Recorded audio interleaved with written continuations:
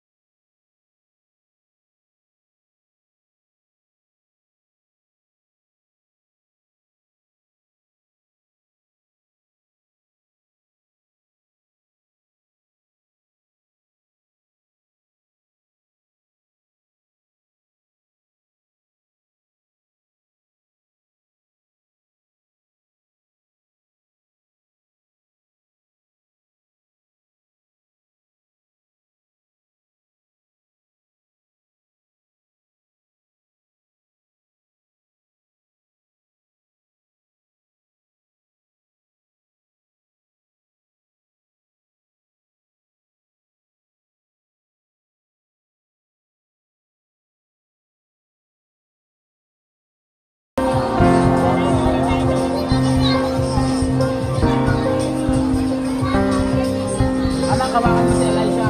Tutulungan ko yung papalitan.